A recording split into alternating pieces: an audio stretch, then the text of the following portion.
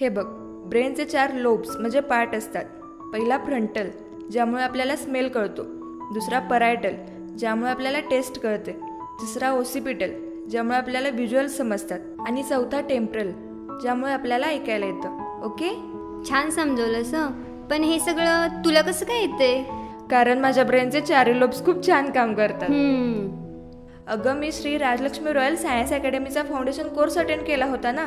त्यामध्ये त्यांनी brain kidney liver असे सगळे ऑर्गन्स आमच्या हातात देऊन एक्सप्लेन केलं होतं. आणि आता मी तिथे ऍडमिशन पण घेतलंय.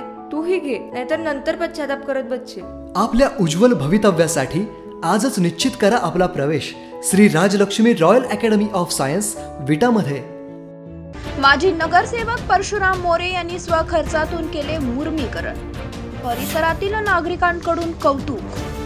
जत शहरातील प्रभाग क्रमांक एक मधील विठ्ठल नगर या परिसरात सकल भागामध्ये पडणाऱ्या पावसाचे पाणी साचून सर्वत्र दलदल निर्माण झाली होती.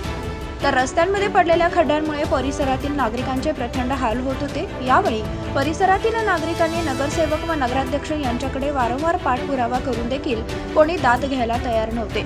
रस्त्याच्या या दुरावस्थेमुळे वाहतूक करत असताना नागरिकांना तारेवरची कसरत करावी लागत होती.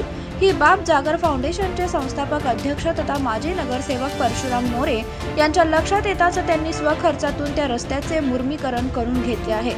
या कामामुळे परिसरातील नागरिकांनी मोरे यांचे आभार मानले. यावेळी जागर फाउंडेशनचे सर्व स्वयंसेवक उपस्थित होते. जोकेश आधाटे जत.